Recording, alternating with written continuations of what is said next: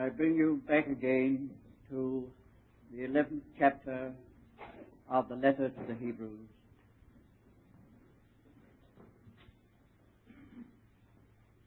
To the two statements regarding Abraham and his faith. First in verse 8, by faith Abraham, when he was called, obeyed to go out unto a place which he was to receive for an inheritance. And he went out, not knowing whither he went. Verse 17, by faith Abraham, being tried, offered up Isaac. Yea, he that had gladly received the promises was offering up his only begotten son, even he to whom it was said, In Isaac shall thy seed be called accounting that God is able to raise up even from the dead, from whence he did also, in a figure, receive him back. While we trust that what has already been said has been of real value and help. It has really been speaking in a very general way about these matters related to faith, what God is after in enlargement, establishment, and life. We are now able to go further and see these things being worked out in the life experience of his people, individually and collectively. Bringing these truths into practical application and relationship to life. So we return to this very practical outworking of truth in the life of Abraham. You know that Abraham's life can be gathered up into four things. That is, faith in relation to God's purpose. Faith in relation to God's principle. Faith in relation to God's patience. And faith in relation to God's passion. We're not going to thoroughly examine and discuss those four things. That is a comprehensive statement. Covers the whole life and the meaning of the whole life of Abraham. We know, I think, without any further comment or explanation, what God's purpose was in calling Abraham. That is perfectly clear in the various statements that we have read from the book of Genesis. What the Lord said to him as to what he was going to do with him and through him, making of him a great nation and from him a multitude of nations, and so forth and so on. a great purpose to have a seed according to God's own heart. And into that purpose, Abraham is called. But the realization of the divine purpose and the calling, you notice that's the word that is used, Abraham being called of God. The realization of that calling was along the line of many testings of faith. I want to come this evening particularly to the second of those four things. Faith and God's principle.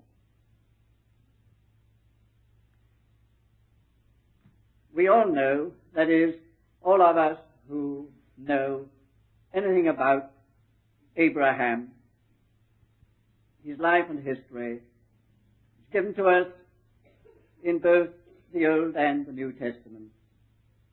We know that at a certain point in his relationship with God and God's dealings with him, a covenant sign was established in the form of a rite which was indelibly registered in his flesh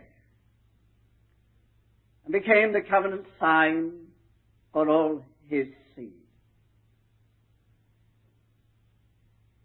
And that covenant sign or rite, which is called circumcision, became the central meaning of Abraham's life, the very basis of all the thoughts of God where he was concerned. Its significance, for it was, after all, only a sign. Paul makes it perfectly clear that this is not a rite, but this is a principle. this significance of this sign of rite gathered into it everything of God's meaning.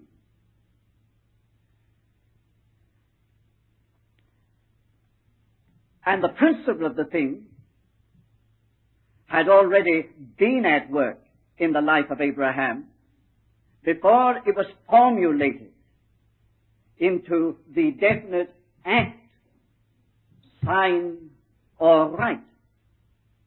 And it continued to be applied in principle right to the end of his life.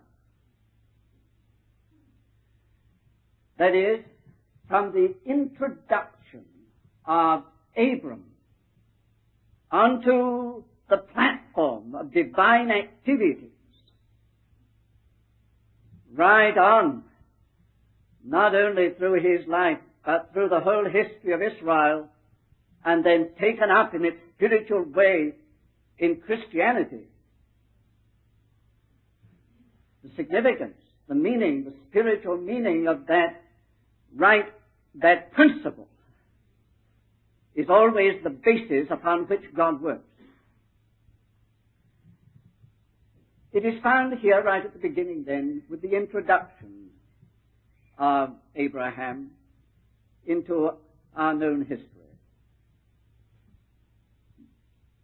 By faith, Abraham being called of God.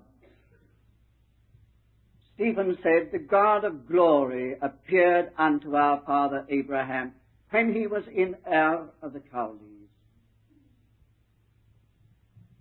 And do you remember what the God of glory said to him? You remember the terms of the call. Get thee up, out from thy country, and from thy kindred, and from thy father's house, unto a land that I will show thee. By faith, Abraham being called obeyed. He went out. The principle of circumcision began to work right at that point. It was faith's basic renunciation by which there began to be placed between an old life and relationship and set of things and an entirely new one. It was a severance, a cutting right in, a separation. The principle began to work then.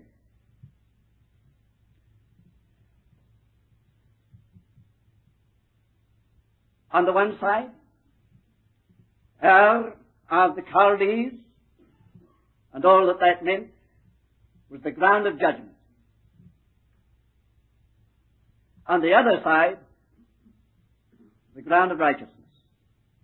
The whole argument of Paul in his letter to the Romans about Abraham. From the ground of judgment to the ground of righteousness. By a distinct act of severance. So far as God's mind was concerned, it was intended to be that. Get thee out from thy country. Separation or severance from his country.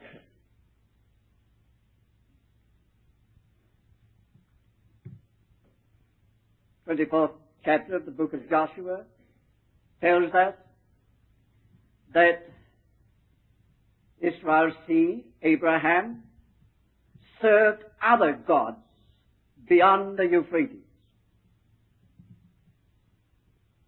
Recent excavations in Ur have revealed a good deal about the times of Abraham. And amongst these uncoverings and disclosures, it has come to light that in Ur, in the time of Abraham, there were no fewer than 5,000 names of gods. The names of 5,000 gods who were worshipped by the people of Chaldea in Ur. Your fathers worshipped other gods beyond the river. Get thee out of thy country. The significance then is right out from every other object and form of worship. Right out from anything and everything that shares the ground with God. Right out from all that which disputes the rights of God. That is the ground which lies under judgment. Thee out of thy country.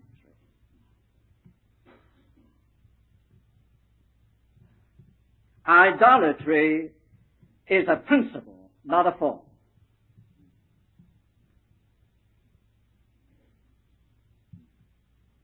When we speak about idolatry, we usually conjure up in our minds, or there is conjured up in our minds, some forms of idols which the heathen worship, to which they bow down, or the icons and images of a false Christian system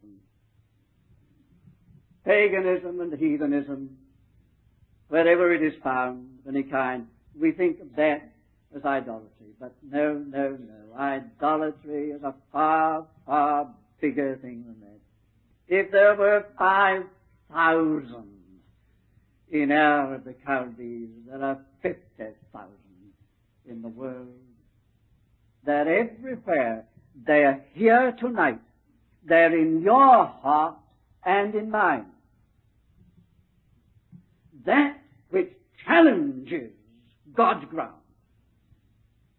That which disputes the rights of God. That which divides between God and something else.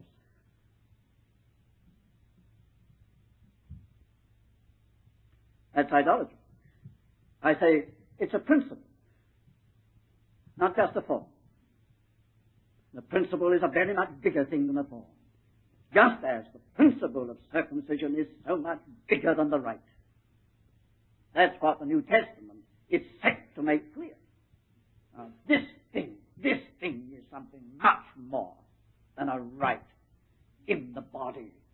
This is something that ranges the whole realm of the flesh, the natural man. Get thee out of thy country. This is thoroughgoing, drastic, tremendous. There's nothing outside. From thy kindred and thy father's house. Well, Abram started out from his country, but as we know, instead of fulfilling the whole commandment, he took his kindred and his father's house with him. And so the journey was arrested. Fact is, they moved to Haran, which was still in Chaldea, and still under the government of those gods, so that even yet they were still in that territory, on the ground of judgment, still in the place where God's rights were challenged and disputed. And so God said, we can't go any further. While there's anything of that left, and the move never came until his father died. Now this may represent many things, but for our purpose tonight, I want to indicate that this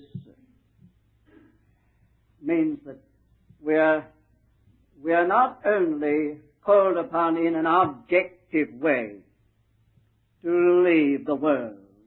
The world has got to leave us. You can take a certain position in an outward way in relation to uh, Christianity. But you may have carried it all with you in your heart. See, that's what Israel did in the wilderness. They left Egypt, but Egypt hadn't left them. Egypt was still in their hearts, and they were constantly harking back to Egypt simply because Egypt was still in their heart. And here it was. This, this has got become no mechanical profession, no attachment and association in an outward way to the things of God. This has got to become a matter of the heart. The Father's house, the kindred, the sentimental associations, the affectional relationships, the deep down heredity connections, these have got to be severed. It's got to be a fundamental and drastic renunciation out from thy country, thy kindred, thy father's house into a land that I will show thee. And when his father was dead, he moved. But he still took something of his kindred with him, which until that was finally severed, was a constant nuisance to him. Love. Come back to that again. But however, he did move into the land. But here he is moving up and down in the land and not possessing one foot of it, dwelling in tents. in the land, but no possession. Why? Well, I think for two reasons. Still something had got to be done in Abraham. But on the other hand, the land itself was full of idolatry. We know what the land was like at that time. Full of idolatry. So on the one side, idolatry. On the other side, idolatry. In between, a week and a long week before his seed could possess the land. You see, God is not realizing his full purpose while there is any idolatry at all on the right hand or on the left, anywhere. Or God is establishing and standing by his irrevocable position, I am going to be all or nothing. Whether it be Ur of the Chaldees or whether it be the land of Canaan, I am not going to share it with anybody. And so, Abraham, I have got to bring you to the place where I am your all and you have nothing else before we can realize our full purpose. That's the principle of circumcision, of the rite, of the covenant. It's a deep cutting into. It's a registration of a very, very drastic work of God. Paul says that it's the cross of the Lord Jesus.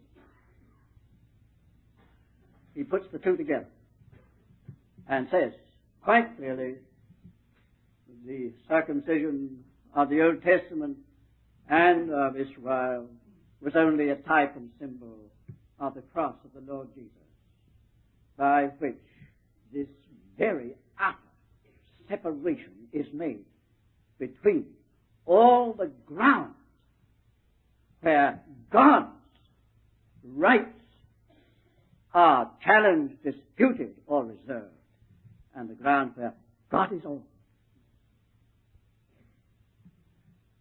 Now you notice that the process and the progress of this application of a principle was from without to within and ever more deeply within.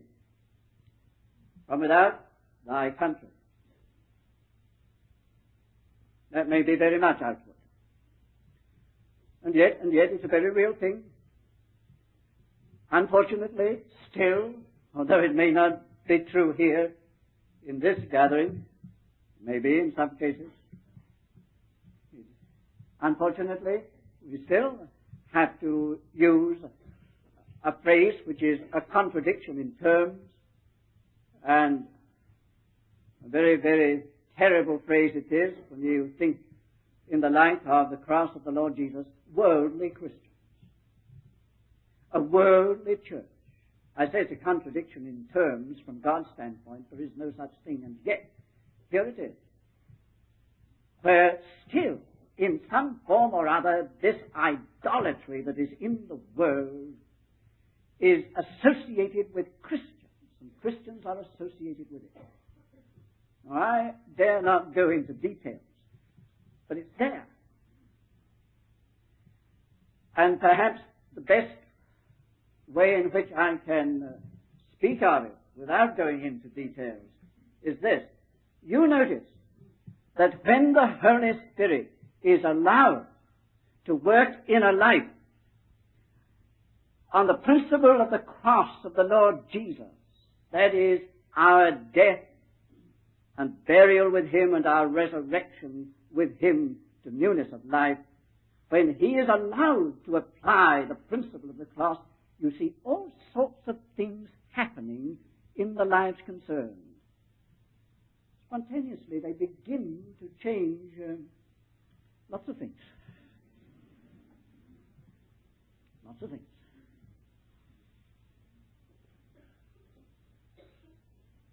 Things which shock those who long ago left that land, of which at the beginning they seem to be hardly conscious.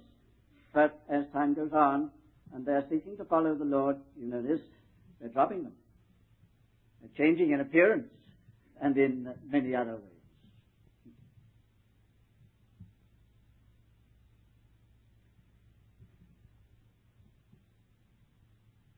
The ground that lies under judgment is coming under the Holy Spirit's conviction. And these people say, well, uh, the Lord has shown me. But he's not pleased with that. Doesn't agree with that. I think you you know something about that. It starts on the outside. Don't you think that you've got very far on when you begin to do that sort of thing? That's only the beginning. That's only leaving your country. A lot more to be done yet, but won't get any further until that's done. Won't be done. You hold the Lord up on some little matter like that. It may be only dress. No, I am going into details. It may be a matter of uh, make believe.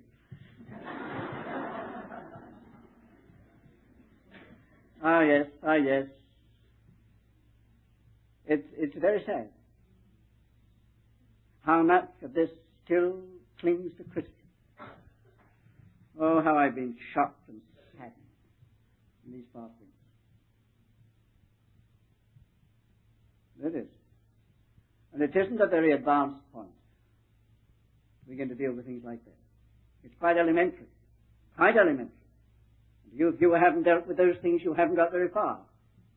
But I'm not telling you, you've got to go and deal with them. The Holy Spirit's got to tell you that. Don't you do anything because I say you should. That's legalism. But you ask the Lord that His Spirit may work in your heart on the principle of the cross of the Lord Jesus.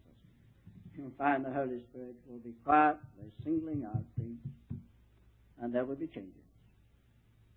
That's only leaving your country. That is moving from the outside, you see. The outside.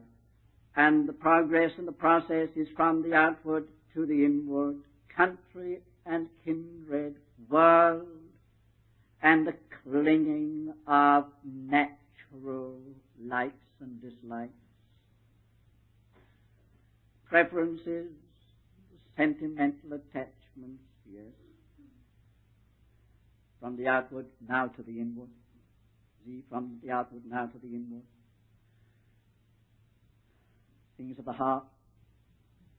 The Lord's getting inner, more and more to the inner, to the heart. He's going to press the thing right to the very heart and leave nothing moving more and more inwardly. Thy country, thy kindred, that's getting in, isn't it? Those affectional relationships to which we cling. On that I'm not going to dwell. Many, many a life has been held up and many another life has found its complete release by dealing with some affectional relationship. Oh, the tragedies, the tragedies of unequal marriages, of Christians, of Christians. The unwillingness, you see, at a certain point before covenant was entered into to face this whole matter of common ground in the Lord. The awful tragedies that we are seeing everywhere. On the other hand, suffering, oh, the knife, the knife of circumcision applied to something in that realm. Some relationship which is not on the common ground of Christ. yet very near to the heart. Oh, the wonder of a, of a release that has come and the knife has been taken to that in great suffering. But here, held up until it's done. the point with Abraham. Held up. The whole purpose of God held up.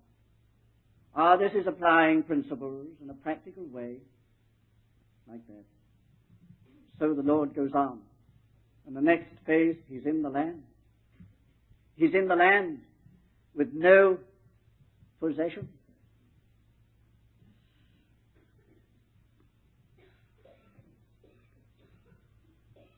And this represents a still more inward movement of the knife. Uh, was there some mixture in the heart of Abraham? It's not for me to say there was, judge him.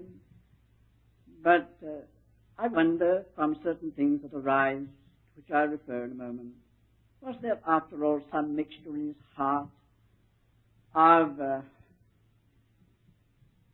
ambition in relation to the divine call?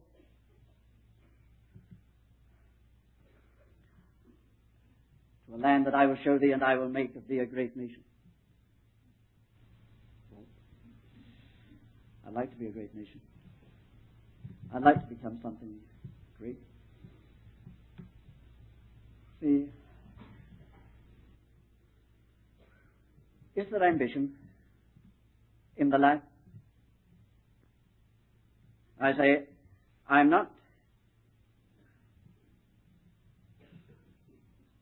charging Abraham with anything. In a moment, in the next step, you'll see that there may be some justification for raising a question like this. That there may still have been just some personal interest associated with his act of obedience.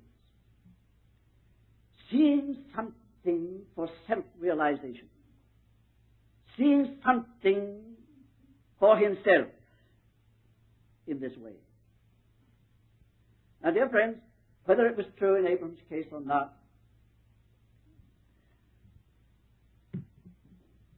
we don't know our own hearts. But you know, there does come into the whole matter of our relationship with the things of God would be a personal interest. This word ambition. Oh, what pathetic stories can be told of the tragedy of ambition in the realm of the things of God. I have recently had very close and painful association with such a case.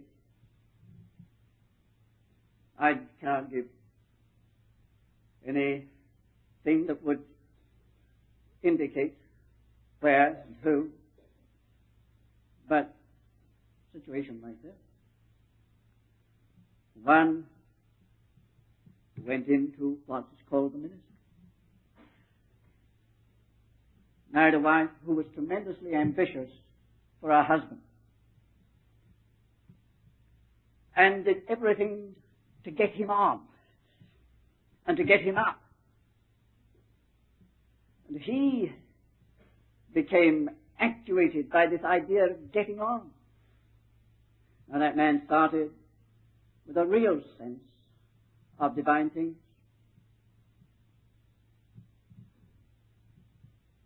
When I tell you that, and this is the only detail that I can give that kind, that he was closely associated with Oswald Chambers in the heyday of his ministry. And I knew him then.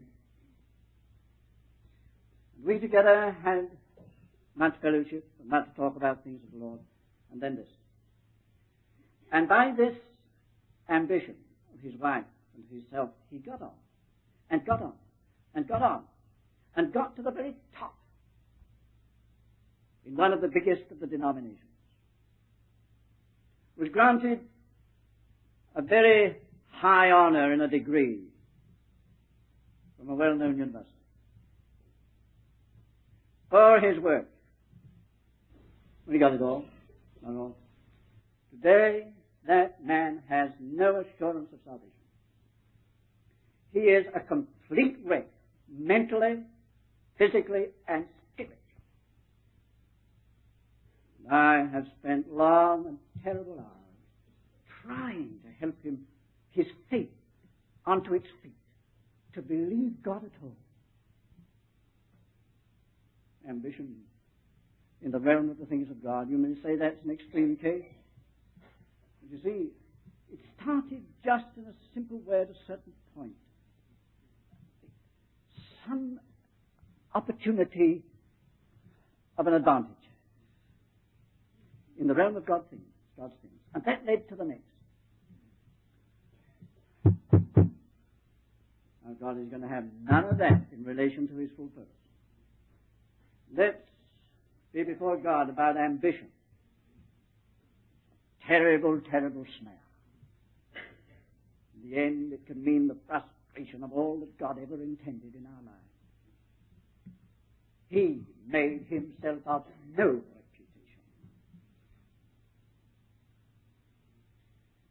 Pressing inward, was this long waiting, so to speak, between the two worlds, the world of the past and the world of the promise, this marching up and down, living in tents, was it God's way of pressing circumcision more inward still over this matter of dividedness of interest. To really sever the last fragments of personal interest. Was it? Now look. If that's true, that goes very inward, doesn't it? Take the matter of patience. You know, dear friends, the thing that will slay anything of that kind, ambition, more thoroughly than anything else, is being kept waiting. There is nothing that disciplines our motives more than being kept in suspense. Being kept waiting. Or being made to know how impatient we are, how much patience we need. So he had to be brought into one oneness with God's patience.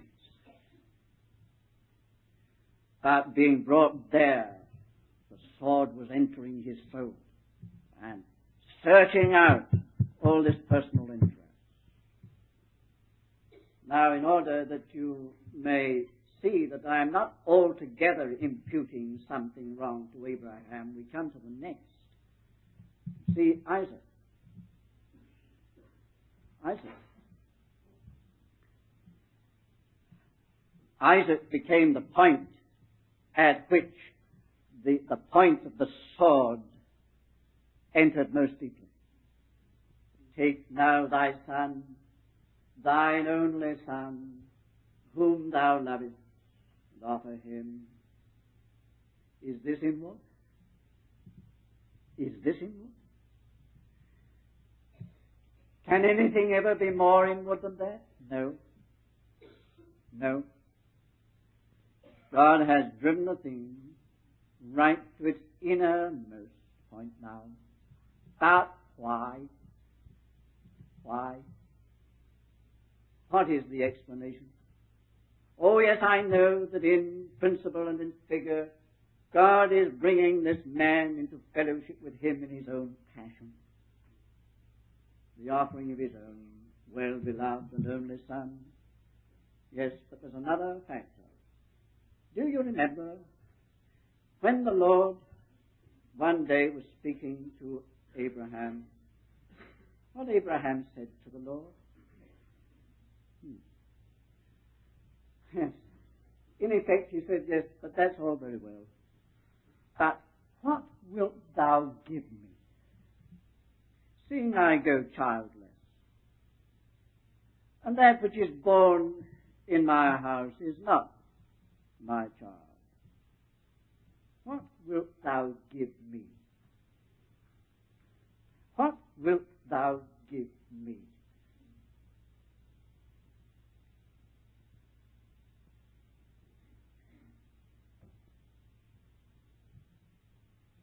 God gave him Isaac. But God had to root out of that the me. Even so, this, this element of give me had got to be destroyed.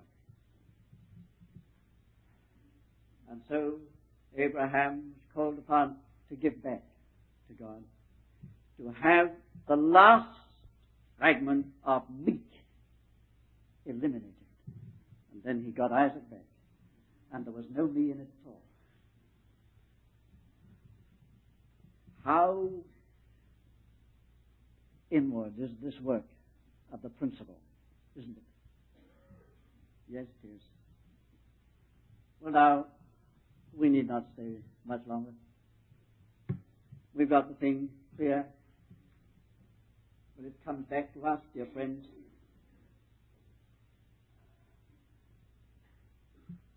You see what God wants. What God is after. Where are we? It may be that there are some listening to this word who have not yet made the first response to leave that which corresponds to the country.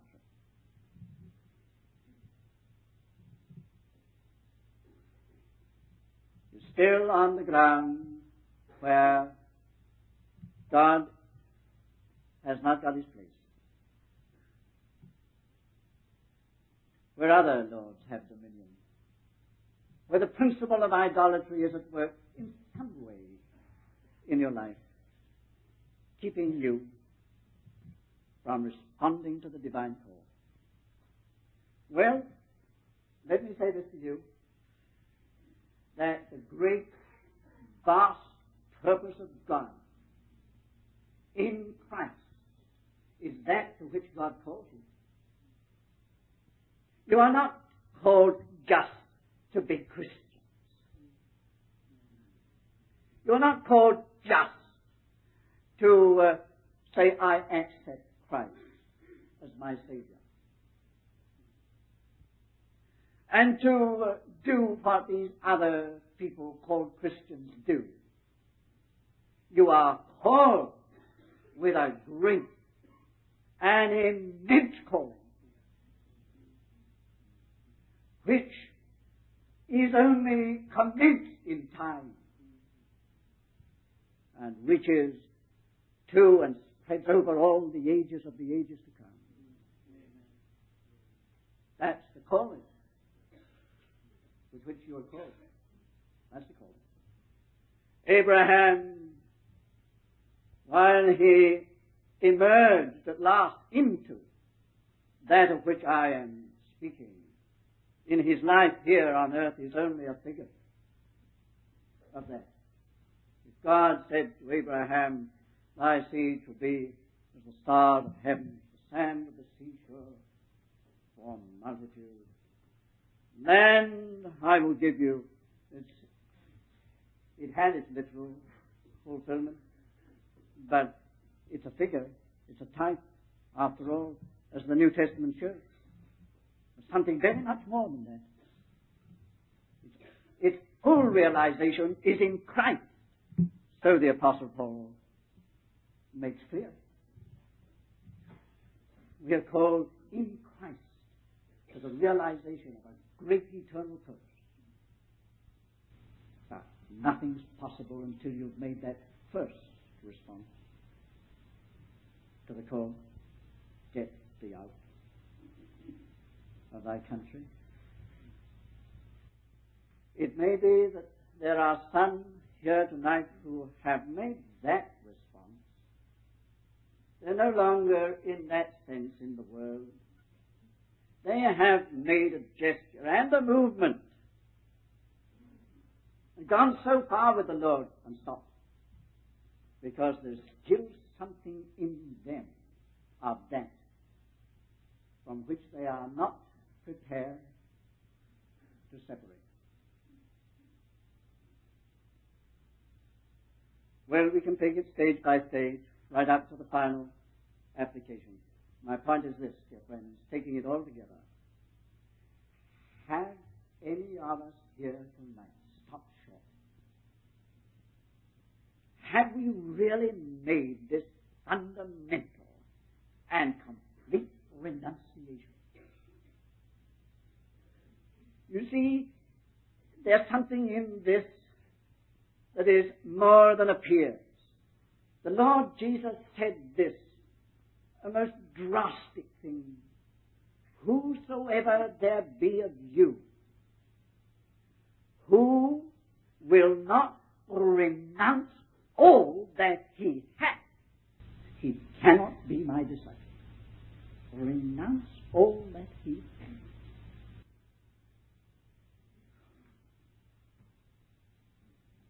Why? Why? You see, dear friends, if there's anything of that whatsoever, that is Satan's foothold in our life. Yes. It's Satan's foothold in our life. It's dividing things with God.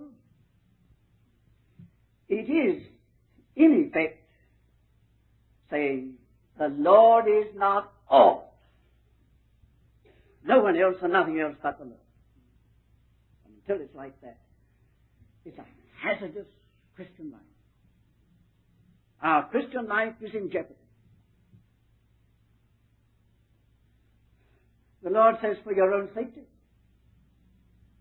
and for your own eternal future, the realization of my purpose, I must just be all, that's all. You must have no God beside me. You must have nothing that divides the ground with me at all. See that man Paul there? We've quoted it. As always, so now, Christ may be magnified in my body, whether by life or by death, for me to live is Christ.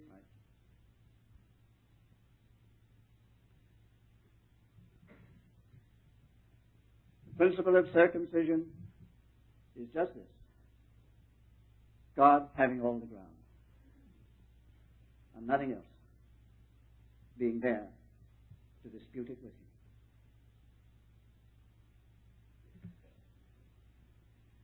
To give God that ground calls for an act of faith. By faith, Abraham. By faith. And God is not going to give you anything that will undercut faith. He will say, look here. Matter, I tell you nothing about it unto a land which I will show you. He went up, out, not knowing whither he went. God had not given him a rosy picture. Up to that time, God had not defined and described the inheritance. He simply said, I'll show you. As you go on, I'll show you. When you've taken the step, I'll show you. In the meantime, not knowing, not knowing, not knowing. Principle of faith. I believe that God, having called God knows that it's worthwhile to call me to make such a renunciation. And that's all I want to know. God doesn't do this sort of thing to get us into a trap, to deceive us, to rob us of anything at all, to lessen our lives, take anything away. God does this sort of thing because He is the God that He is, of purpose, whose end is fullness. All I want to know. Faith in God. Faith that believes that whatever it means, God means more.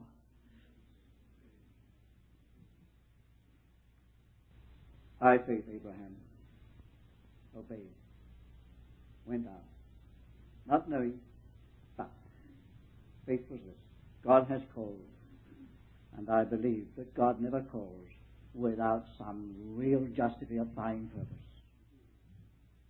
If it costs, the compensation must be far greater. It must be because God is what He is.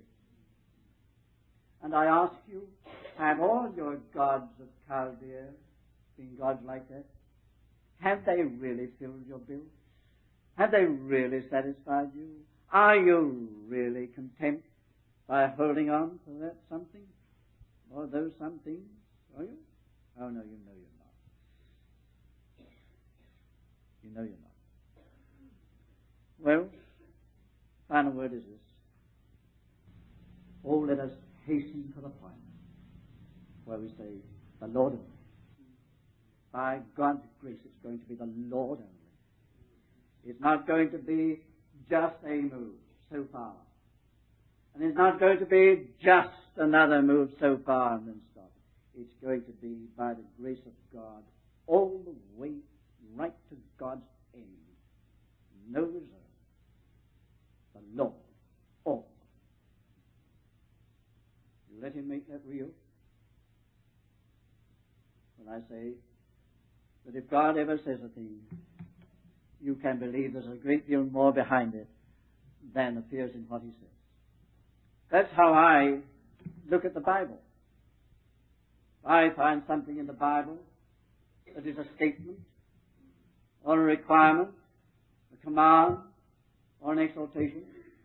Well, on the face of it, it says that's what's to be done, or that is what's not to be done. But I never stop there. I say, why not? Or why so? What's God got in his mind when he says that? Because God is not just giving out platitudes, little rules and regulations for our life. God's got the immensity of all His full knowledge behind everything He says. There's such an immense reason behind the least thing that God says. It's as big as God Himself. So I want to know what's behind this. What's behind this? Why should I not? Why should I? There's an answer to that why that I say again is as big as God Himself.